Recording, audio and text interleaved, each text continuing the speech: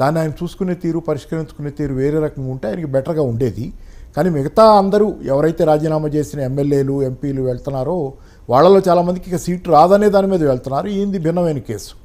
కానీ కాస్త అంటే ఒక్కసారి రాజీనామాలు అంటే ముగ్గురు నలుగురు ఎంపీలు దాదాపు పదిహేను పదిహేను నుంచి ఇరవై మంది ఎమ్మెల్యేలు ఒక్కసారి రాజీనామాలు చేస్తే కొద్దిగా ఇంపాక్ట్ ఉండదు? సార్ ఒకటి కాకపోతే జగన్ నమ్ముకుంటుంది ఏంటంటే జనానికి తనకి మధ్య ఇంకెవరు అక్కర్లేదు అనేది ఒకటి. నాకు ఇందాక కూడా చెప్తున్నారు స్టార్ క్యాంపెయినర్లు నాకు ఎవరు లేరు. నా స్టార్ క్యాంపెయినర్లు నా పథకాల తాలూకు లబ్ధి పొందిన జనాలే నా స్టార్ క్యాంపెయినర్లు అంటున్నారు. అయితే ఇక్కడ జరుగుతున్న దానిలో అది మంచిదే. ఎందుకంటే జనాలతో డైరెక్ట్గా లింకప్ అవటం ద్వారా ఏదైతే వెస్టెడ్ ఇంట్రెస్ట్లతో కెరీర్లుగా రాజకీయాలు మార్చుకుని వస్తున్నటువంటి వాళ్ళు రాజకీయ నాయకులు ఉన్నారో వాళ్ళు పార్టీల్లో చేరి చేస్తున్న దానికంటే కూడా ఇది మంచిదే. మంచిదే కానీ ఇక్కడ మీకు చూస్తే ఏమవుద్దంటే అసలు క్యాడర్ పట్టించుకుంటున్నారా? జగన్ ఈ మధ్యలో ఉన్నటువంటి ఎంపీలు ఎమ్మెల్యేని పట్టించుకోకపోవడం వాళ్ళని తీసి పక్కన పెట్టడం వేరే విషయం. కానీ క్యాడర్ ద్వారా ప్రజలతో ఎంత సన్నిహితంగా ఉన్నారనేది. ఎందుకంటే తెలంగాణలో జరిగిన లోపం కూడా అదే. క్యాడర్ని కూడా పట్టించుకోవాలి తెలంగాణలో ఏంటంటే ఇప్పుడు రివ్యూలు వేసుకుంటున్నటువంటి బీఆర్ఎస్ పార్టీలో క్యాడర్ని కూడా పట్టించుకోలేదు అనేది రివ్యూలో ఒకటి. కాబట్టి ఏంటంటే క్యాడర్ని పట్టించుకోకుండా మీరు ఉంటే కనుక డైరెక్ట్గా పై స్థాయిలో ఉన్న నాయకుల్ని మీరు మీ కింద ఉన్న నాయకుల్ని పట్టించుకోకపోవచ్చు కానీ క్యాడర్ని పట్టించుకోవాలి. క్యాడర్ మెయిన్గా మీ మెసేజ్ని జనంలోకి తీసుకెళ్ళేది మీకు ఆర్గనైజ్ చేసి ఓట్లు వేయించడంలో దాని పాత్ర ఉంటుంది కాబట్టి క్యాడర్ని ఎంతవరకు పట్టించుకుంటున్నారు ఏపీలో అనేది ఒక పెద్ద ప్రశ్న ఉంది. ఎందుకంటే ఆ- అది అడ్రస్ చేస్తున్నట్లు కానీ దాని గురించి మాట్లాడుతున్నట్టుగా లేదు. కానీ ఏంటంటే జగన్ జన్ మెయిన్గా నమ్ముకుంది ఏంటంటే తను డైరెక్ట్గా జనాలతో ఇంటరాక్ట్ అవుతారని నమ్ముకున్నారు. కానీ తెలంగాణలో కూడా జరిగింది అది జరిగింది అదే. కేసీఆర్ గారు లేకపోతే ఆ పార్టీ డైరెక్ట్గా జనంతో లింకప్ అవుతున్నాం అనుకున్నారు తప్పితే మధ్యలో కేడర్ అనేది ఒకటి ఇంపార్టెంట్ అని ఫీల్ అవ్వాలా? సరే కాకపోతే వైఎస్ఆర్ కేసీఆర్ పథకాలు నమ్ముకున్నాడు కేసీఆర్ జనాన్ని నమ్ముకున్నాడు. మధ్యలో క్యాడర్ ఎవరైనా వస్తే హే నువ్వేంది? మీ లెక్కేంది? మరి నాకు డైరెక్ట్ జనమే ఉన్నారు. ఒక్కొక్క ఇంట్లో ఇద్దరు ఇద్దరేసి ముగ్గురేసి లబ్ధిదారున్నారు వాళ్ళంతా ఓట్లు గుద్దేస్తారు అనుకున్నారు కదా? కాదు. జనం రాజకీయాల్లో నిరంతరం చురుగ్గా ఉండరు. క్యాడర్ ఎంతో కొంత చురుగ్గా ఉండగలిగిన వాళ్ళు రాజకీయాల మీద ఆసక్తి ఉన్న వాళ్ళు రోజువారీ ప్రచారం చేసేవాళ్ళు క్యాడరే. కాబట్టి క్యాడర్ లేకుండా ఏ పార్టీ ఎందుకంటే నిర్మాణం లేకుండా క్యాడర్ లేకుండా ఏ పార్టీ ఉండదు.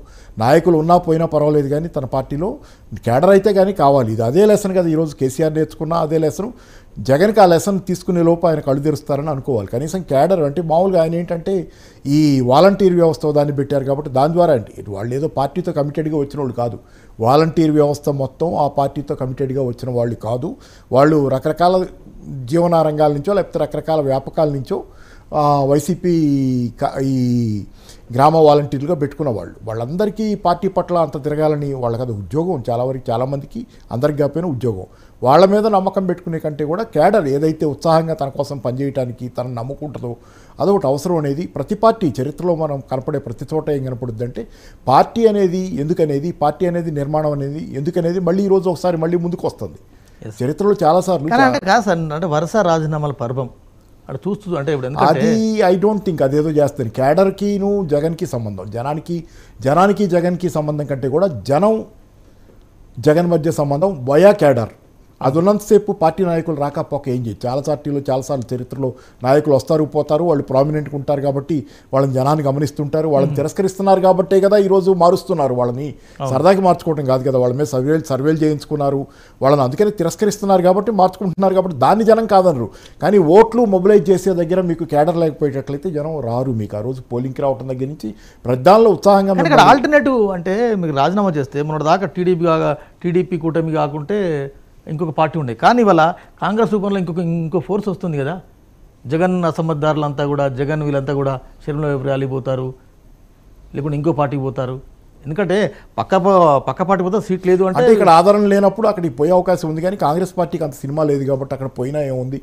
ఉండేదేదో ఇక్కడే పడి ఉందామనే అనే పరిస్థితి ఉంది. అక్కడ వాస్తవానికి ఏంటంటే కాంగ్రెస్ పార్టీ షర్మిలా గారు వెళ్ళగానే కాంగ్రెస్ పార్టీ ఏదో కోలుకుంటుంది అనుకోను. షర్మిలానే వైసీపీలో అంటే ఇప్పుడు ఏ మాట కా మాట రాజశేఖర రెడ్డి వారసురాలుగా కూడా పెద్ద స్వీకరించట్లేదు. ఎందుకంటే తెలంగాణ వచ్చి తెలంగాణ కోడల్ని నేను ఇక్కడ కాదంటే చీల్చండాడతాను మిమ్మల్ని నన్ను ఇక్కడ కోడలు కాదంటే అని పోయి మళ్ళీ ఇప్పుడు ఏపీలో నేను వచ్చాను మన మన మన రాష్ట్రం మన వైసీపీ అంటే అదే మన రాజశేఖర రెడ్డి గారు అంటే అక్కడ స్వీకరించే పరిస్థితి పెద్ద ఉండదు. పైగా ఇవాళ మళ్ళీ సేమ్ ఆ ఒక అనుభవం ఉన్నటువంటి పాదయాత్ర పర్వాన్ని మళ్ళీ మొదలు పెట్టారు Yes, Ichchapuram Ichchapuram to to Idupulapaya. Idupulapaya మొదలు పెట్టారు ఆ ఒక అనుభవం దానిలో బాగా గణించారు. అది గతంలో అన్న వదిలిన బాణంగాను ఆ తర్వాత తెలంగాణలో. ఇంత చేసి ఫలితం ఏముంది? అన్న వదిలిన బాణంగా పనిచేస్తే అన్న వెనక ఉన్నంతసేపు ఆయన వదిలినంతసేపే ఆ బాణానికి అర్థం అని చెప్పి ఆమె తెలంగాణలో తిరిగినప్పుడే అర్థమైపోయింది. తెలంగాణలో ఒక ప్రతిఘటన కూడా పెద్దగా లేదు. అవును. మీరు ఓవరాల్గా ప్రతిఘటన లేదు అలాగని ఆమెకు ఆమోదం లేదు. ఎవరు పట్టించుకోవాలి? వాస్తవానికి ఆమెను ఎవరిని పట్టించుకోవాలి? నిజానికి ఆమె కనుక అంత ప్రభావశీలమైన శక్తి అనుకుంటే కనుక కొంత ఏదో ఒక రకమైన ప్రతిఘటన కూడా ఉండేది. అంత తీవ్రమైన ప్రతిఘటన లేదు. అక్కడక్కడ ఏదో చిన్న చిన్న ఘటనలు జరిగినాయి తప్పితే ఆవరి సీరియస్గా కూడా ఎవరు తీసుకున్నట్టు పరిస్థితి లేదు. కాబట్టి ఆంధ్రప్రదేశ్లో కూడా ఆమె ప్రభావం కాంగ్రెస్ పార్టీ ఏంటంటే కాంగ్రెస్ పార్టీ అసలు ఇంకా చచ్చిపోయిన పరిస్థితిలో ఉంది కాబట్టి ఏపీలో దింపుడు కళ్ళెం ఆశగా ఆమెను ముందు పెట్టుకుని పోతుంది తప్పితే కాంగ్రెస్ పార్టీ దగ్గర ఆ, ఆమె బతికించి